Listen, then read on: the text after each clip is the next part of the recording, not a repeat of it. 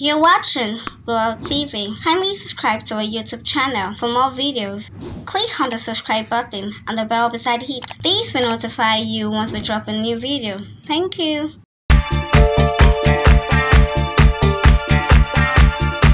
Funke Akindele, Tiwa Savage, Ini Edo, and other Nigerian female celebrities joined the White and Black Challenge, going viral on Instagram, which seems to bring out the bond and support amongst them.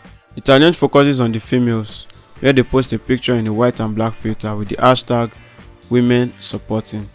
Check out stunning photos of your favorite celebrities in black and white.